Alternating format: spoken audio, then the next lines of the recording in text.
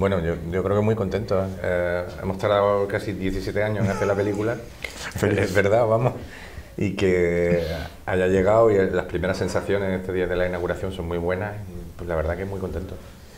En realidad, em, nosotros empezamos con una idea muy básica que era, que era intentar hacer una película sobre, sobre, fuga.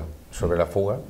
De ahí pasamos a una película que nos pareció mucho más interesante cuando conocimos la existencia de este sindicato de presos em, autodenominados sociales que surgió a partir de la amnistía que se le dio a los políticos en plena transición, a los presos políticos.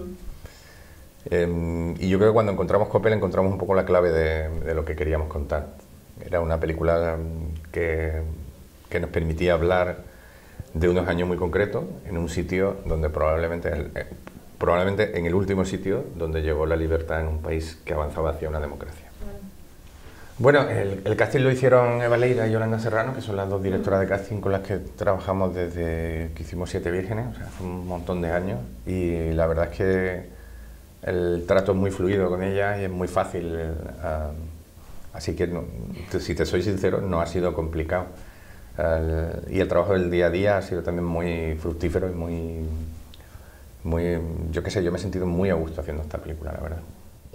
Bueno, lo hemos comentado con respecto al guion, que eran muchos los acontecimientos, que la historia es muy vasta y que había que intentar que cupiese todo, siendo muy respetuoso con la realidad, con, con los hechos reales, y probablemente fuera lo que exigiera más esfuerzo y lo que costado más, probablemente.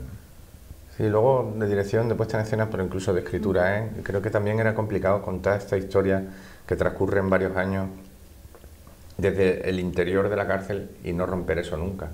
O sea, la historia está contada todo el tiempo desde el punto de vista de nuestros claro, personajes. Sobre otro obstáculo. Más. Y el espectador solo sabe lo que ellos saben, no sabe en ningún momento qué está ocurriendo afuera si, si ellos no lo saben. Y esto era un, una complicación que hace que la película en ese sentido sea un poco austera visualmente, pero yo tengo la sensación de que, de que consigue al mismo tiempo que el espectador se identifique y, y, y, vaya más con los personajes, que era en el fondo la idea.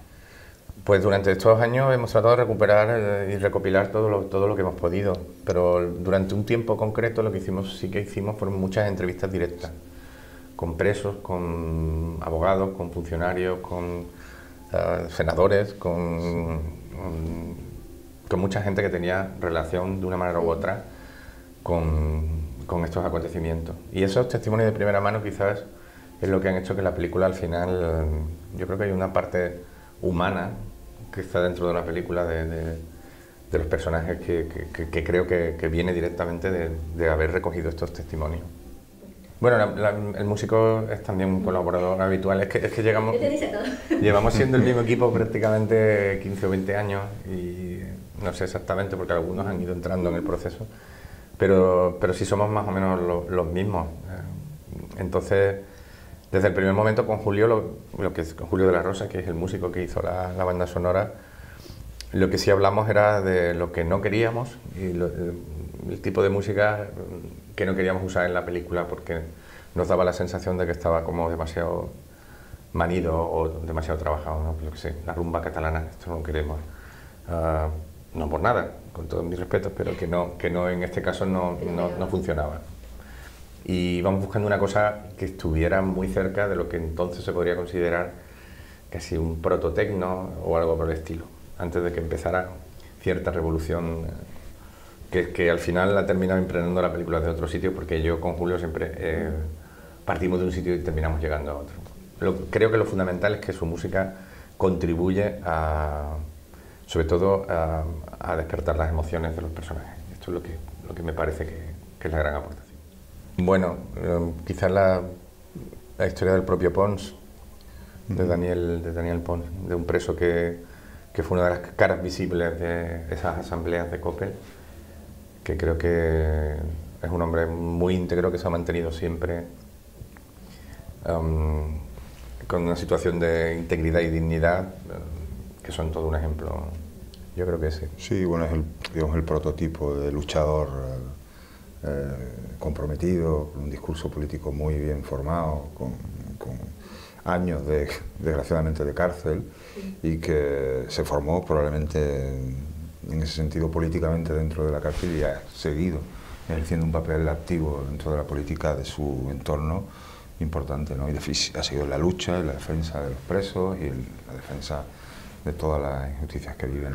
Pero hay muchísimos, o sea, la, cosa es que prácticamente de cada preso había una historia.